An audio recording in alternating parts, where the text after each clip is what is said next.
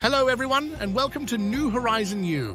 Today, we're diving into a fascinating journey through economic history and the psychology of money. Remember, if you enjoy our content, don't forget to subscribe for more insightful videos. Now, let's unravel the mysteries of how our personal experiences shape our financial decisions. Have you ever wondered how differently each of us experiences the economy and money? It's like we're all reading the same book but interpreting the chapters in our unique ways. Let's rewind to the Great Depression, an era that left a profound mark on global economic history.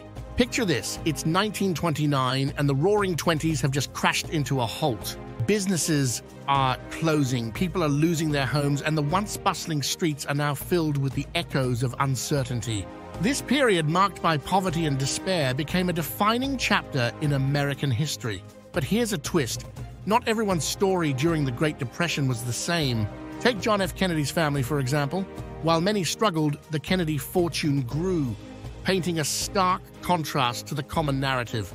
This divergence in experiences isn't just about the rich and poor, it extends to all of us, influencing our attitudes towards risk, investment, and financial decision making. Moving to the present, let's consider how our personal experiences continue to drive our financial decisions. Economists often picture us as rational beings, always making choices that maximize our gains.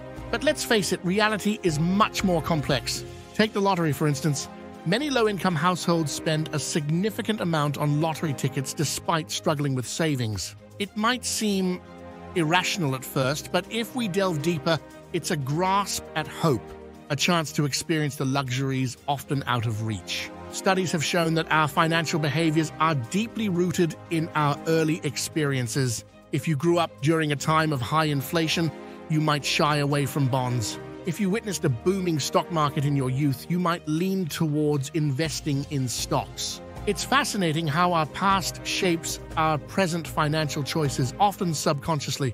And now let's take a step back and think about the history of economic concepts themselves. Did you know that modern financial ideas are relatively new in the grand scheme of things? Currency, for example, only came into existence around 600 BC.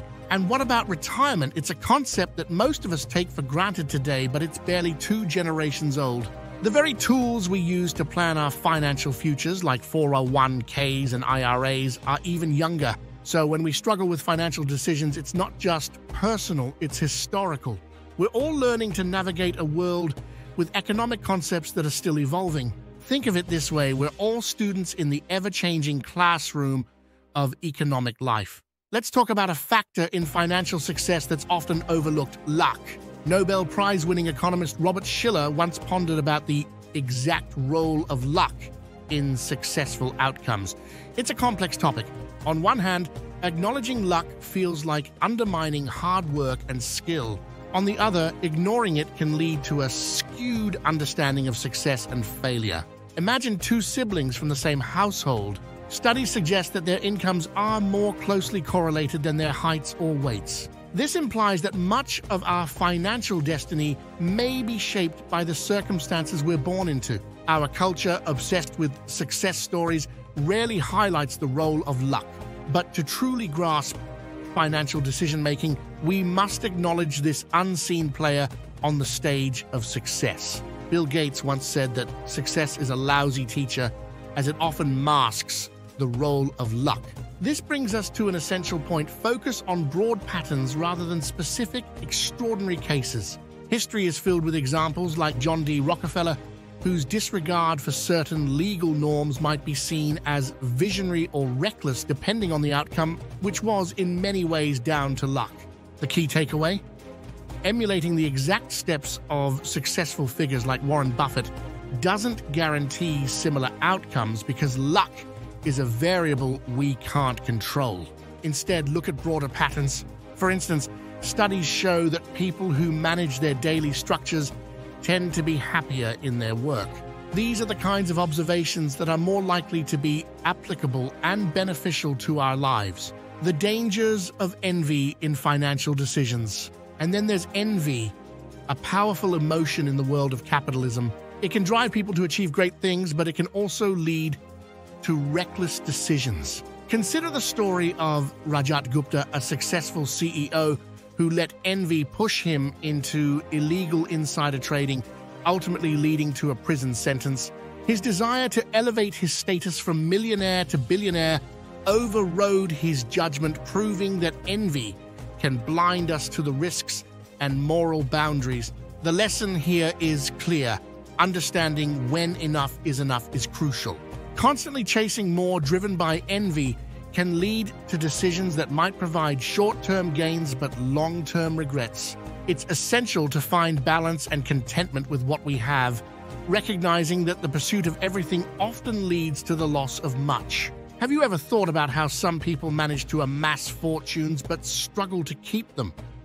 The story of Jesse Livermore, a renowned trader from the early 20th century, perfectly illustrates this. At the peak of his career, he was worth 100 million, da, an astronomical sum for his time. His greatest triumph came when he bet against the stock market in 1929, earning the equivalent of $3 billion today. But the twist in Livermore's tale is both shocking and insightful. Despite his initial success, he eventually lost it all and tragically ended his own life. This brings us to a crucial understanding making money and keeping it are two very different challenges. While risk and optimism are vital in earning wealth, preserving it requires humility, fear, and a cautious approach. It's about recognizing the role of luck and the impermanence of success. Stories like Livermore's teach us that staying rich often requires more skill and discretion than becoming rich in the first place. Speaking of preserving wealth, let's consider the role of fear in our financial decisions. It might sound counterintuitive, but a healthy dose of fear can be beneficial. Michael Moritz, a successful venture capitalist, believes that fear of losing what you have can lead to more prudent and thoughtful decisions. This approach emphasizes perseverance and caution over reckless risk taking.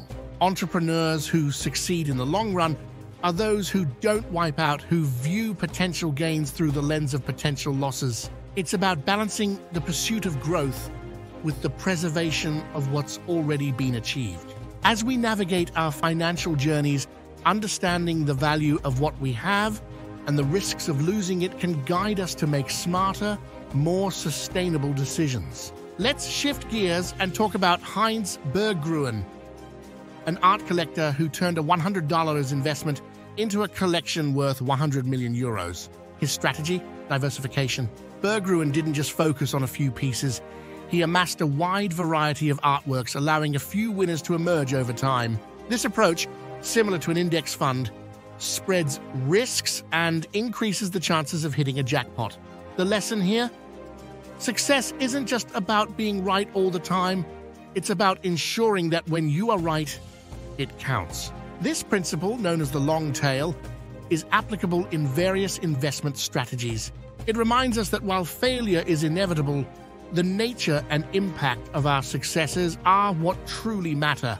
In essence, a few right choices can offset many wrong ones, highlighting the importance of diversified approaches in both art collection and financial investments. As we conclude today's exploration into the world of money and financial decision making, remember that success in finance is intertwined with psychology.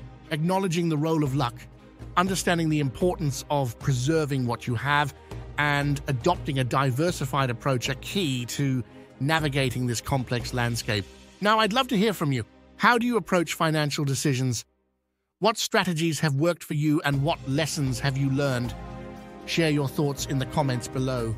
And if you found value in this video, please give us a like, subscribe for more insightful content, and share this with someone who might benefit from these lessons. At New Horizon You, we're committed to helping you navigate life's challenges and opportunities. Stay tuned for more, and as always, keep striving for your personal and financial growth.